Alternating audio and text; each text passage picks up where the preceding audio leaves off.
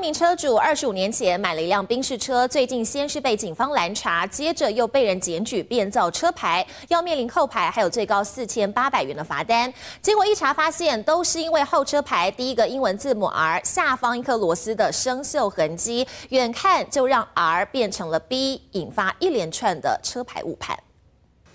到底什么情况？宾士车牌明明第一个英文字母是 R，怎么换到车尾车牌第一个英文字母又变成 B，让车主接连被检举变造车牌？R 的下面有一个那个螺丝。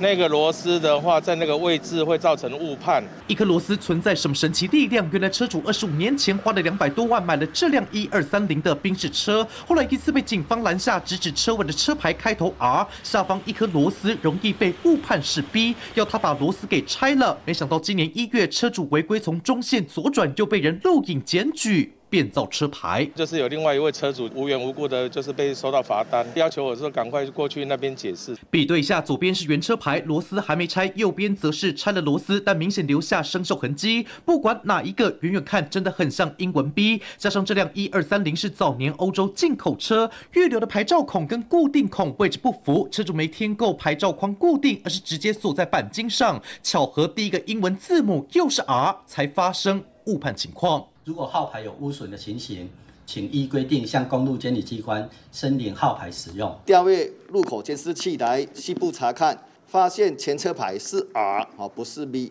警方经过查证，也确认是车牌螺丝生锈引发误判，所以变造车牌不是事实，已经呈报撤单。至于违规中线左转，还是得依法开罚，最高一千八。